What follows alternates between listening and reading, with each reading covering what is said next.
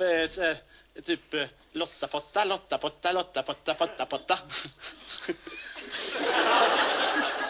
Visst är det barnsligt när folk säger så? Det är så himla löjligt tycker jag. Ja. det är det barnsligaste som finns att hålla på med såna här grejer tycker jag. Ja. En annan barnslig grej det är typ om man säger så här typ Lotta Kjellin, tjock som ett svin. Eh, apornas kusin, satt på en pall, sket så det small. Aporna trodde det var bombanfall. Ja, så barnsligt att hålla på med sånt.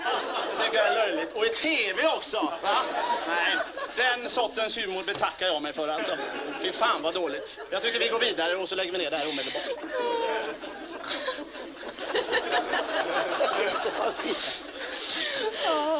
Henrik ser stolt ut.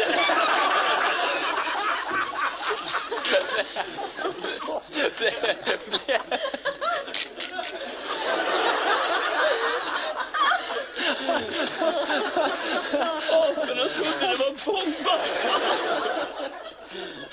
Har du inte hört det? Jag tror att du har skrivit den själv.